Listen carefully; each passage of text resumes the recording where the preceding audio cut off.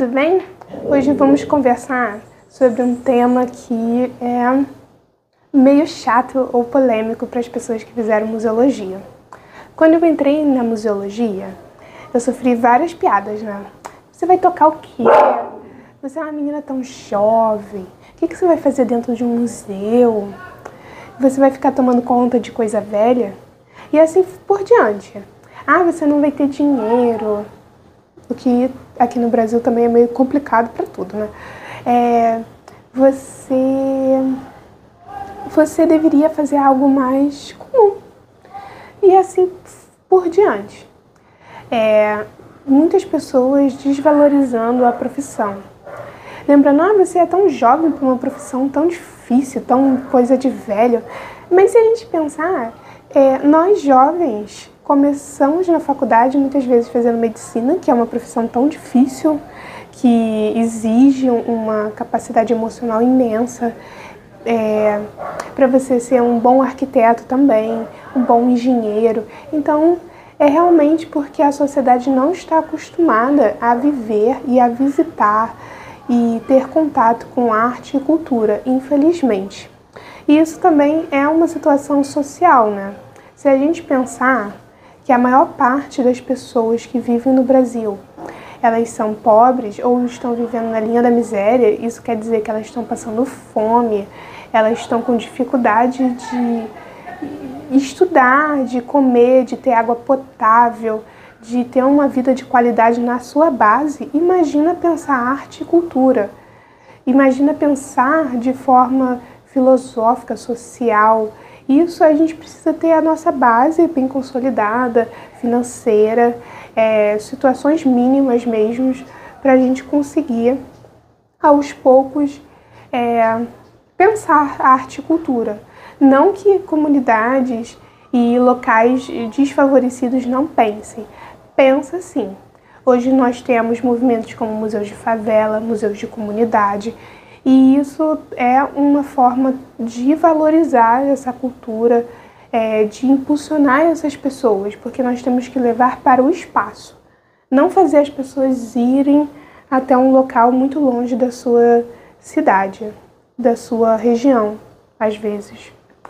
É, então eu fiz museologia, foi uma decisão muito difícil durante o curso todo, devido a várias piadas, as várias contradições, ou mesmo os professores desanimando. Ainda hoje, quando uma pessoa vai fazer museologia e pergunta em grupos, os próprios colegas eles vão diminuir a profissão falando: "Ó, oh, não faça porque você não vai ter emprego. Ó, oh, não faça porque é muito difícil, nunca consegui trabalhar na área". E realmente, é, a gente tem que entrar sabendo que é uma realidade muito difícil não é impossível, mas é extremamente difícil. E ter sempre junto um plano B, um plano B para a museologia. Eu, por exemplo, fiz museologia e eu brinco que eu tinha um pé na conservação e restauro, outro pé na educação.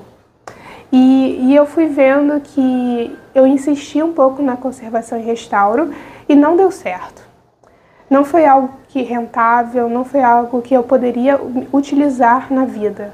E aí eu acabei indo para a educação. É, muitos museólogos, quando vai para a educação, que é para ser mediador dentro de museus, que é uma área que tem mais emprego, não muito, mas tem mais emprego, então a maioria consegue uma vaga como mediador, como é o que eu conseguia. No caso, eu sou mediadora e intérprete de Libras, porque é uma área que você consegue se comunicar com o público que está mais na, na linha de frente. E isso está aumentando aos poucos. Olha só onde eu moro. Barulho para tudo que é lado, mas se eu esperar um silêncio, nunca vou conseguir. Então, retornando. É, muitos colegas meus consideram que trabalhar com mediação dentro de museu não é um trabalho de museologia. Já outros consideram. E isso é muito contraditório, porque eu já estou nesse tipo de trabalho há mais ou menos três anos. E eu ainda recebo comentários assim: Ah, Jéssica, quando você for rica, conseguir um trabalho dentro de museu, me convida. Só que assim, primeiro que eu não vou ser rica com museologia, né? Eu acho. E segundo que eu já trabalho dentro de um museu. É, eu já galguei isso, então eu já tive uma realização como museóloga. Pode não ser conservando, restaurando, preservando, colocando um número de tombo, coisas que eu fiz por dois anos e meio dentro de estágios. Fiz dois anos de estágio, que eu fiz muito essas práticas de museologia. Eu continuo trabalhando, fazendo essa mediação com o público, que é extremamente importante. Porque o museu, os centros culturais, os lugares de cultura, os patrimônios imateriais, eles precisam das pessoas ali. A gente precisa dessa relação com o público. Então não importa se eu estou dentro de uma reserva técnica ou se eu estou ali fora, no espaço social do museu, falando com as pessoas. Isso ainda é um trabalho de museólogo. Então, a museologia ela é muito vasta, ela é muito grande, a gente pode trabalhar em inúmeros lugares. Porém, a gente não tem essa valorização, esse reconhecimento social. As pessoas nem conhecem a nossa profissão. Então é muito difícil, a gente tem que se esforçar, como se fosse uma bandeira, um ativismo, para a gente mostrar mesmo que a nossa profissão é importante, que o nosso pensar filosófico, científico é tão importante quanto qualquer outra área de formação. Então eu fiz a graduação e depois eu fiz um mestrado. Eu fiz o um mestrado em Museu e Patrimônio com um viés para acessibilidade, que foi dentro do Instituto Nacional de Educação de Surdos. E aí foi outra polêmica. Por quê? Muitas pessoas falam: ah, você está fazendo museologia pela segunda vez. Isso porque a gente tem um Corém, quando você se forma em museologia, você tem que entrar e fazer seu registro no Corém. Nesse registro você ganha um número. Então o meu é 1011 I ou 1, né? Depende do ponto de vista. Se eu tivesse feito só o mestrado, o meu talvez fosse 1011 2I, porque aí eu entrei pelo mestrado. Então muitas pessoas conseguem é, esse corém, essa viabilidade de trabalhar como museólogo só com o mestrado. E por isso as pessoas desvalorizam o mestrado, o que é um absurdo, já que em qualquer área você faz. Vamos pensar aqui. É, engenharia, engenharia. Aí depois você faz um mestrado de engenharia de produtos, produção, produtos. Ninguém fica falando que a pessoa é engenheira duas vezes são coisas diferentes, são papéis diferentes. E a mesma coisa no meu mestrado. Meu mestrado foi totalmente diferente da minha graduação. Eu aprendi coisas inúmeras diferentes. E eu acredito, depois de ter passado pelo curso, que uma formação de mestrado não, não se tira o peso de uma graduação, mas também você forma sim um profissional. Porque eu me formei em museologia, depois eu fiz o Museu e Patrimônio, que é o mestrado, e com isso eu consegui pegar a acessibilidade e colocar dentro de uma instituição. Eu consegui aplicar o que virou e repercutiu no meu trabalho posteriormente. Então a gente tem isso, né? Nós mesmos, o grupo, um desvaloriza o outro.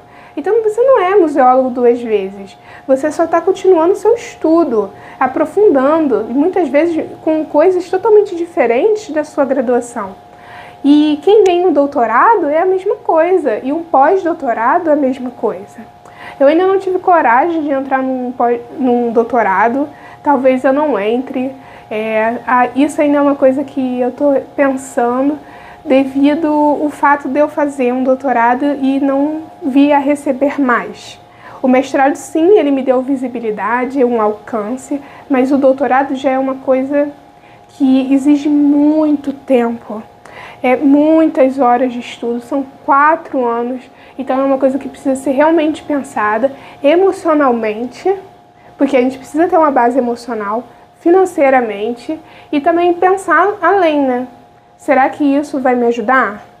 Porque quando eu penso em continuar a carreira acadêmica, não é só para ser professor, é também para aplicar dentro dos espaços.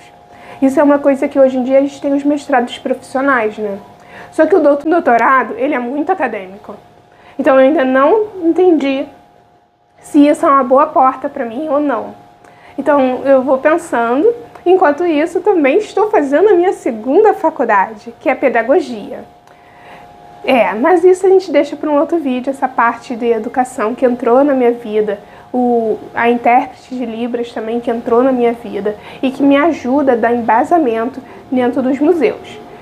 É, continuando um pouco sobre a parte de museologia, nós podemos trabalhar em inúmeros lugares, desde empresas a museus, centros culturais, aquário, jardim botânico, todo local de coleção, todo local de troca com o ser humano, centros culturais, é, galpões de arte, todos esses espaços nós podemos trabalhar. E isso é uma ramificação imensa, porém, é, raramente existe uma entrevista de emprego escrita assim, vaga para museólogo. Geralmente é história, ciências sociais e outras áreas correlatas. E aí a gente entra. Porque museologia é uma ciência social. Muitas pessoas acham que é uma ciência humana, mas ainda é uma ciência sociais. É... Eu acho que é isso. Não sei se eu estou esquecendo de alguma coisa. Se eu esquecer, vocês coloquem nos comentários dúvidas, perguntas sobre a área de museologia, que eu vou respondendo aos poucos. Muito obrigada. Quer ajudar? Curta e compartilhe.